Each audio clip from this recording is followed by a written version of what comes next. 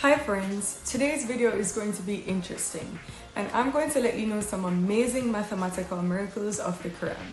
Yes, the Quran, the holy book of Islam. So Muslims believe that the Quran is the literal word of God, Allah, and was revealed to Prophet Muhammad by the angel Gabriel, Jibril, over a period of approximately 23 years. It contains what we can term mathematical miracles. So there are many examples of this fascinating Quranic aspect.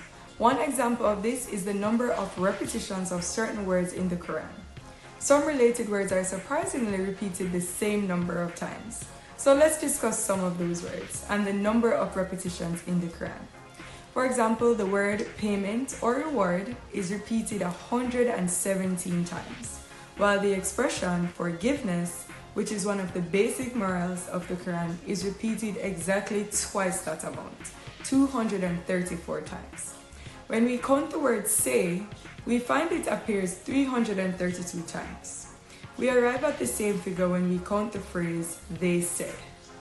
The number of times the words world, dunya, and hereafter, akhira, are repeated is also the same, 115. The word Satan is used in the Quran 88 times, as is the word angels.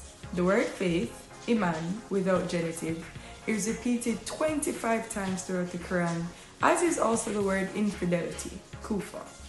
The words paradise and hell are each repeated 77 times. The number of times the words summer hot and winter cold are repeated is the same. 5.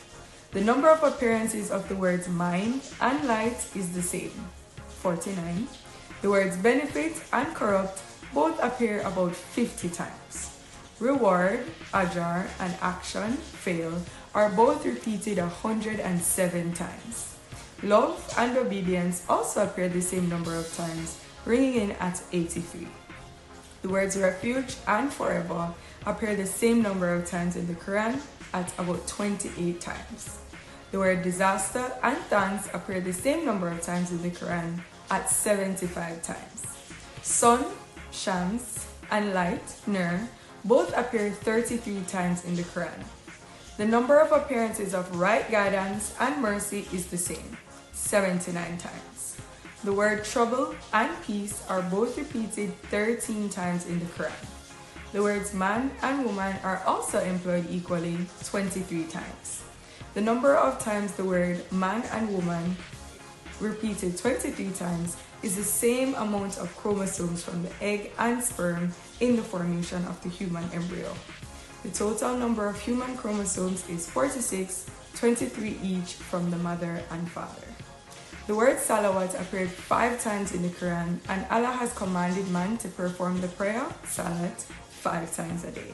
So I hope you like these interesting facts. If you'd like to hear more, then comment in the comment box and subscribe to my channel. I'll surely come up with a part 2. But till then, have a nice time and goodbye.